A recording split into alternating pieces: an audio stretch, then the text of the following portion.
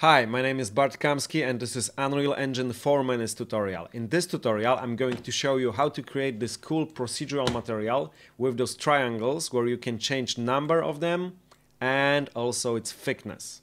So let's get right into it.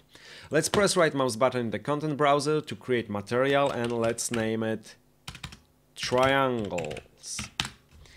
Let's save it and let's open it. If we press U on the keyboard and left mouse button, this will give us texture coordinates. Now we have to subtract from this texture coordinates number 0.5.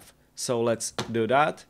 And now we have to break those co coordinates. So I break break them uh, with break out of float to break out float two components to have red and green channel. And now I have to use function arctangent so I just type arctangent here arctangent 2 to be exact.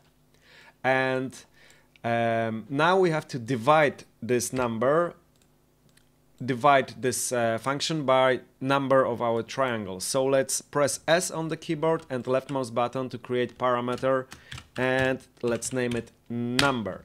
But we have to do something with this parameter before we plug it to divide node. We have to first of all round it to have a, a whole number of triangles like 3 or 4, not 3.7 for example. And then we have to we have to divide 1 by this number. So I just type divide and I press Ctrl here and grab this line and plug it to the bottom. So I divide 1 by this number so I have like opposite of it. And now we have to multiply it by 2 and also we have to multiply it by p, by pi. So let's just drag from it and type p and here is our pi which is 3.14 and we multiply it our number by this pi and then we can plug it here. Great. Now we have to use fractal, fraction. And now if we, uh, our number, let's give our number 7, 7 triangles and now we can see how it looks like. Here it is. So now uh, we have to use cosine And now the last thing is uh, note if. So let's press e I on the keyboard and left mouse button. We have our number our note if. We can we plug it here and we have to create new scalar parameter by pressing S and left mouse button and let's name it thickness. Here we go.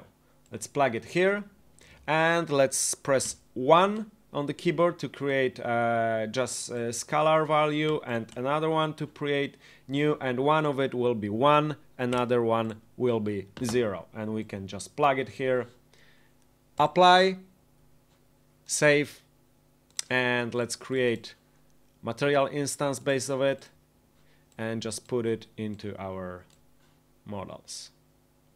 Okay.